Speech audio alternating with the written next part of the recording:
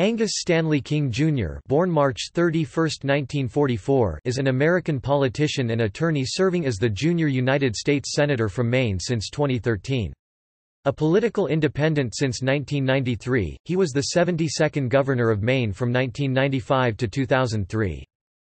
King won Maine's 2012 Senate election to replace the retiring Republican Olympia Snowe and took office on January 3, 2013. He was re-elected to his second term in 2018, following the state's inaugural instant runoff voting elections. For committee assignment purposes, he caucuses with the Democratic Party.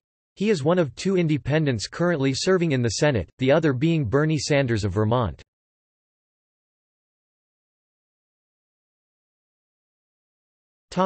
Early life, education, and early career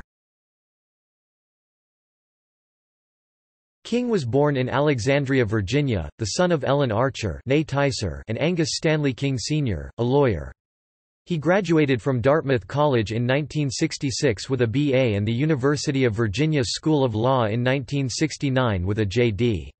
While a student at Dartmouth, King joined the Delta Upsilon social fraternity. Soon after graduation from Virginia, King entered private law practice in Brunswick, Maine. He was a staff attorney for Pine Tree Legal Assistance in Skowhegan. In 1972, he served as chief counsel to the U.S. Senate Subcommittee on Alcoholism and Narcotics. King served as a legislative assistant to Democratic U.S. Senator William Hathaway in the 1970s. He was also well known statewide as a television host on public television. In 1973, when he was 29, King was diagnosed with an aggressive form of malignant melanoma. King has said he believes he survived cancer only because he had health insurance, and he has highlighted this experience when explaining his support for the Affordable Care Act. In 1975, King returned to Maine to practice with Smith, Lloyd, and King in Brunswick. In 1983, he was appointed vice president of Swift River, Hafslund Company, which developed alternative energy hydro and biomass projects in New England. In 1989, King founded Northeast Energy Management, Inc., a company that developed and operated electrical energy conservation projects. In 1994, he sold the company. In 2012, King's investments were valued at between $4.8 million and $22.5 million.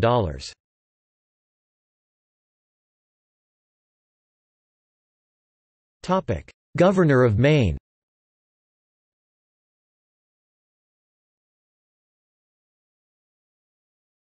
1994 election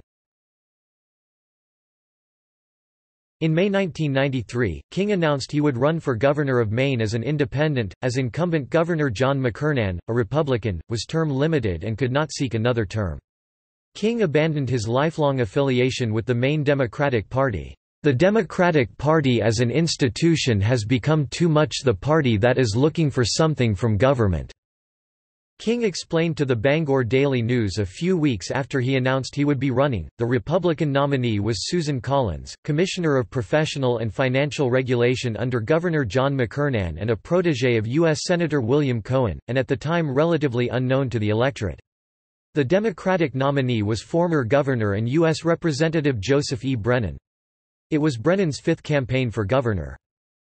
The general election was a highly competitive four-way race between King, Collins, Brennan, and Green Party nominee Jonathan Carter. King decided to invest early in television advertising during Maine's unusually early June primary, allowing him to emerge from the primary season on an equal footing with his rivals. King positioned himself as a businessman and a pragmatic environmentalist focused on job creation and education.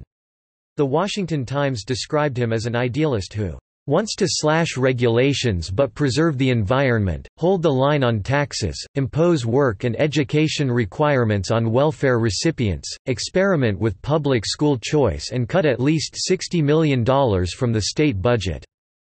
His opponents criticized him for flip-flopping. Collins argued King presents different images, depending on who he is talking to. Angus has been a Democrat his whole life. In my opinion, he became an independent because he didn't think he could beat Joe Brennan in a primary. He's extremely smooth, articulate and bright, but he says different things to different groups.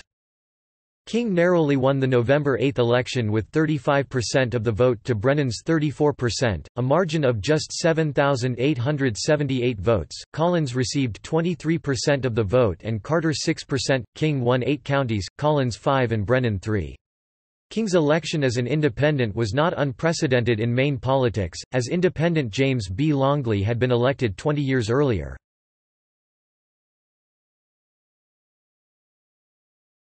Topic: 1998 election King won re-election to a second term in 1998 with 59% of the vote. He defeated Republican Jim Longley Jr., the son of the former governor, 19%, and Democrat Thomas Connolly, 12%. King's 59% was the highest a candidate had received since Brennan's 1982 re-election with 62% of the vote. Brennan's 1982 victory was also the last time before 1998 that a gubernatorial candidate had won a majority of the vote, and King's 1998 re-election remains the last time in a Maine gubernatorial election that the winner got a majority.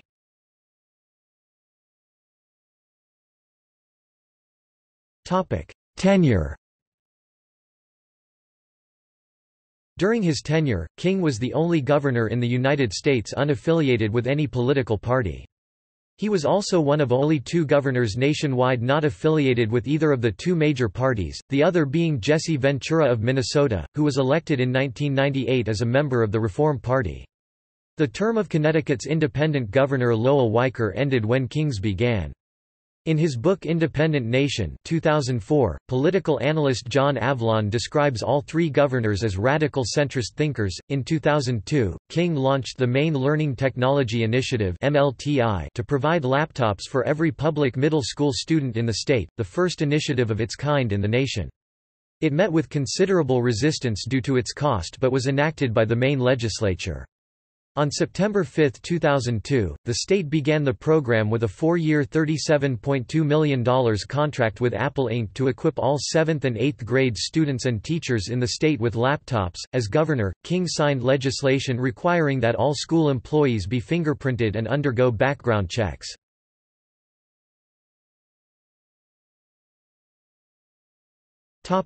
Post-gubernatorial career 2003 to 2013.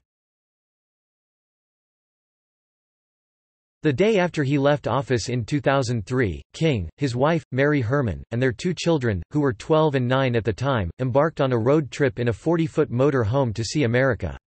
Over the next six months, the family traveled 15,000 miles and visited 33 states before returning home in June 2003. During his post gubernatorial residency in Maine, he lectured at Bowdoin College in Brunswick and Bates College in Lewiston.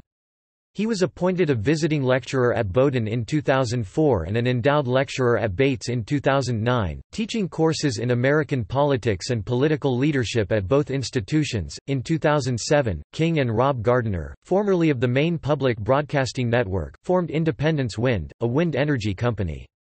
In August 2009, Independence Wind along with joint venture partner Wagner Forest Management won Maine DEP approval for construction of a proposed $120 million, 22-turbine, utility-scale wind power project along a prominent mountain ridge in Roxbury, Maine. To avoid the appearance of a conflict of interest, King sold his share of the company after entering the 2012 U.S. Senate election. Of the project, King has said, People who say wind is only an intermittent resource are looking for a one-shot solution. And my experience is that there are rarely silver bullets, but there is often silver buckshot. Wind is an adjunct source of energy. 10%, 20% can be very significant.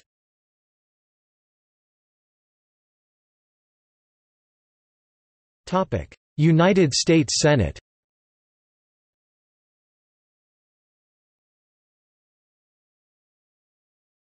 Topic: Elections.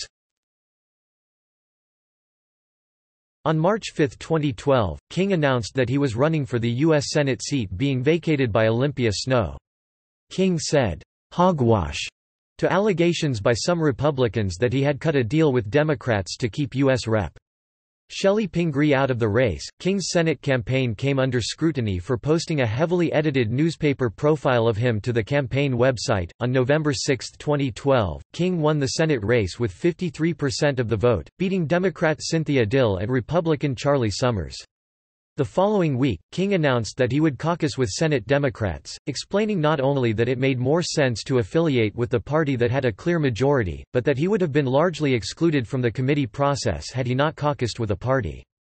King said he had not ruled out caucusing with the Republicans if they took control of the Senate in 2014, but when that happened, he remained in the Democratic caucus.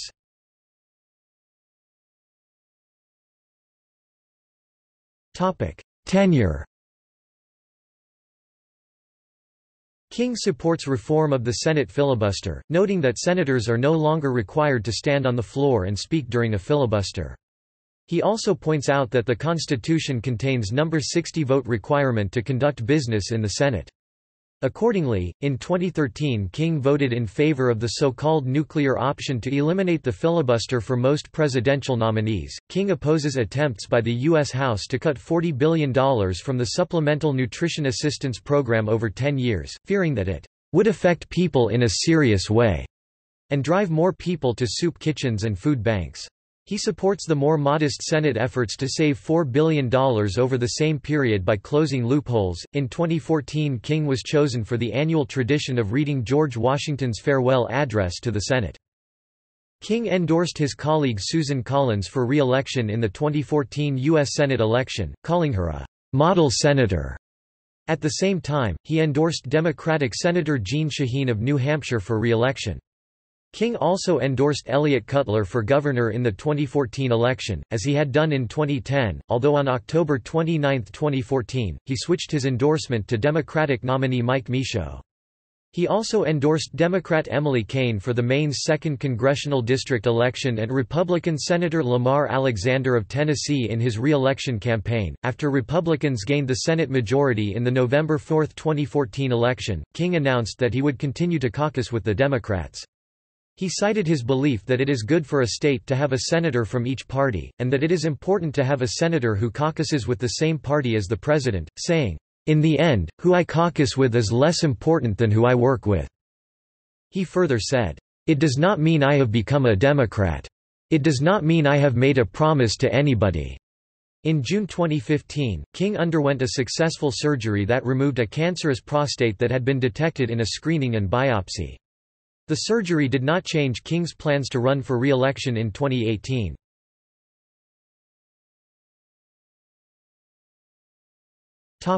Committee assignments.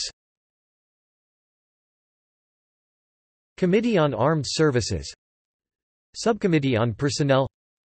Subcommittee on Sea Power. Subcommittee on Strategic Forces. Committee on the Budget. Committee on Energy and Natural Resources Subcommittee on Energy. Subcommittee on National Parks. Subcommittee on Water and Power. Committee on Rules and Administration. Select Committee on Intelligence. Topic: Caucus memberships. After-school caucuses. Topic: Political positions King has been described as a moderate independent. He has called himself, "...neither a Democrat nor a Republican, but an American." The nonpartisan National Journal gave him a 2013 composite ideology score of 59% liberal and 41% conservative. His Crowdpac score is minus 4.3 10 is the most conservative, minus 10 the most liberal, based on a data aggregation of his campaign contributions, votes, and speeches. In a study published by The Washington Post called, "'Party Unity Scores'", King only voted with the Democratic Party 43% of the time. He has also received higher approval ratings from liberal interest groups than conservative ones. King has been rated 89% by the average liberal interest group, the average conservative interest group rates him 14.5%. GovTrack ranks King among the more moderate members of the Senate, near the Senate's ideological center. In 2014, King endorsed his Republican colleague from Maine, Susan Collins. According to 538, which tracks congressional votes, King had voted in line with President Trump's position on legislation about 45% of the time as of July 2018.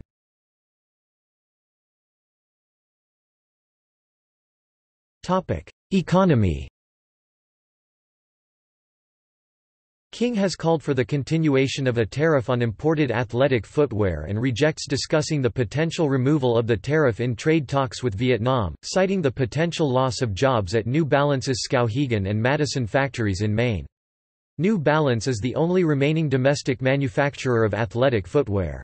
Also while governor, King vetoed a bill that would have raised Maine's minimum wage by 25 cents per hour. In 2017, King was a strong opponent of the Republican tax bill, criticizing its rushed passage on a party line vote without hearings, saying, The Bangor City Council would not amend the leash law using this process.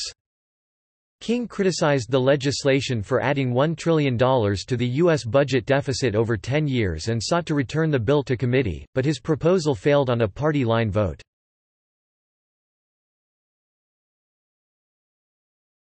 Topic: Foreign relations and national security. King has voted to arm Syrian rebels who are fighting Syrian President Bashar al-Assad and ISIL militants. In 2015, King gave his support to the Joint Comprehensive Plan of Action, an international agreement with Iran. In voting against a resolution of disapproval in opposition to the agreement, King stated, the current alternatives, if this agreement is rejected, are either unrealistic or downright dangerous. King favors the normalization of U.S.-Cuba relations. He opposes the U.S. embargo against Cuba, calling it an antiquated relic of the Cold War. In 2015, King introduced legislation to lift the embargo. As a member of the Senate Intelligence Committee, King is participating in its probe of Russia's interference in the 2016 U.S. elections. King said that the entire committee had no doubt whatsoever about the Kremlin's culpability in the meddling and described the cyberattacks as a frontal assault on our democracy that could present a long-term threat.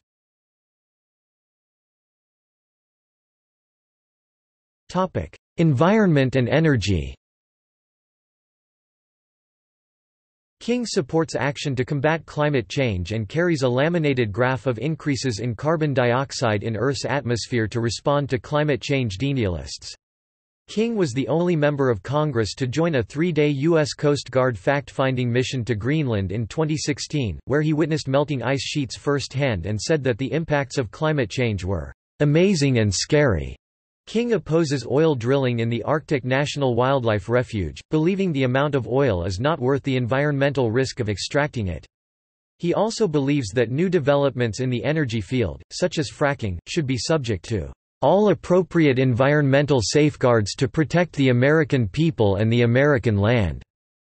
King is opposed to the Keystone XL pipeline, stating that the project will facilitate the transport of some of the world's dirtiest and most climate-harming oil through our country", and has cast several votes against legislation authorizing its construction. King has said that he is "...frustrated," with President Obama's delay in deciding whether to authorize construction, but that he opposes Congress legislating the approval or disapproval of a construction project. King has expressed opposition to the creation of a Maine Woods National Park, stating on his 2012 campaign website that local control is the best way to conserve land, but in 2014 stating that he was keeping an open mind about the idea. King initially expressed serious reservations about proposals to establish the Katahdin Woods and Waters National Monument, but expressed support for President Obama's creation of the monument in 2016, saying that the administration had made commitments that convinced him that, "...the benefits of the designation will far outweigh any detriment." That the monument would not hurt Maine's pulp and paper industry, and that the monument would help diversify the local economy. King opposes efforts in Maine to ban the baiting and trapping of bears, including an effort to put the question to voters in 2014, calling such practices necessary to prevent interaction between bears and people, and stating the practices are based on science and the views of experts.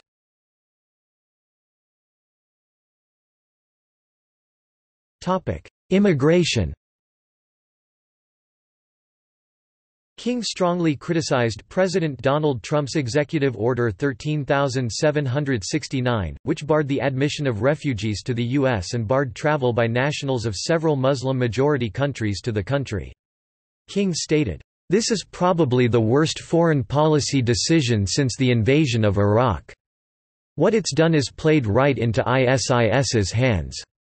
They want us to turn this into a war of the West against Islam."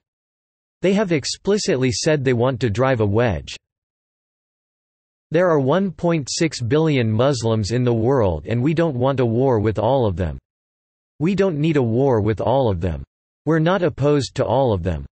King noted that U.S. forces fought alongside Muslim Iraqi troops, and that much valuable counter-terrorism intelligence was shared with the U.S. by Muslim nations.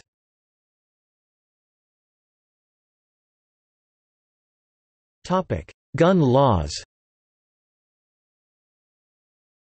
King supports expanding background checks to most firearms transactions, with exceptions for transfers between family members, calling such a position, "...the single most effective step," that can be taken to keep guns out of the wrong hands. He supports limiting the size of magazines to 10 rounds, and to make purchasing a gun for someone not legally allowed to have one a federal crime. He does not support a ban on assault weapons, believing it will not work and that such a ban is not based on the functionality of the weapons, which are not relevantly different from the many hunting rifles owned by Maine residents. He noted that the vast majority of gun crimes are committed with handguns, not rifles. King voted for the Manchin-Toomey Amendment to expand background checks for gun purchases.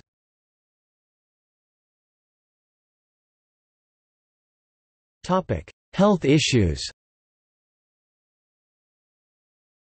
King supports the Patient Protection and Affordable Care Act ACA or Obamacare, but has expressed support for modest adjustments to the legislation if they can be done on a bipartisan basis. In 2013, King voted to restore funding for the ACA as part of an amendment to legislation that funded government operations for 45 days. He has said that those opposed to the ACA who are attempting to discourage people from purchasing health insurance are guilty of murder, and that doing so was one of the grossest violations of our humanity that I could think of. In making this comment, King noted a time in his life when he believed he would have died had he not just acquired health insurance. In January 2017, King voted against the Republican Senate budget plan to accelerate repeal of the ACA and block repeal legislation from being filibustered. The measure passed on a party line 51 to 48 vote. He spoke out against the House Republican repeal legislation, noting that the Congressional Budget Office estimated that 14 million Americans would lose health insurance if the legislation were enacted. King stated that the House Republican bill, "...if you were designing a bill to hammer my state, it would be this bill." Saying that it would most adversely affect Maine residents between the ages of 50 to 65. King is a supporter of the Children's Health Insurance Program (CHIP) program. King favors abortion rights. King criticized Trump's 2017 budget proposal for its cuts to medical research. In 2018, King voted with all Republicans except Rand Paul and six other Democrats to confirm Alex Azar, Trump's nominee for health secretary. King has voted against Republican attempts to completely defund Planned Parenthood, calling the proposals an unfounded yet relentless assault, and another example of misguided outrage that would only hurt those who need help the most. No federal funds go to Planned Parenthood for abortions federal dollars pay for other health care services provided by the group, such as contraception and screenings for cancer and sexually transmitted diseases, but Republicans have sought to completely defund the organization because it provides abortions with other funds. King stated that supporters of the bill were in effect voting to deprive low-income Americans of healthcare over an issue that has nothing to do with the 97% of the services that Planned Parenthood provides saying, to me, this bill is like attacking Brazil after Pearl Harbor.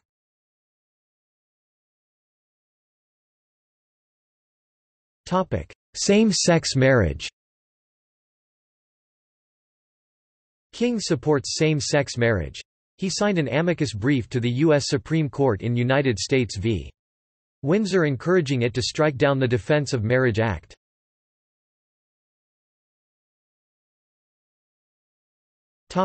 Electoral history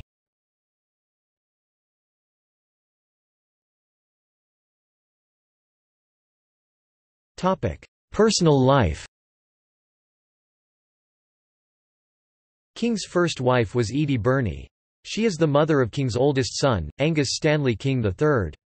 King and Burney divorced in 1982. In 1984, King married Mary Herman, his current wife. King has five children and six grandchildren. King is an Episcopalian.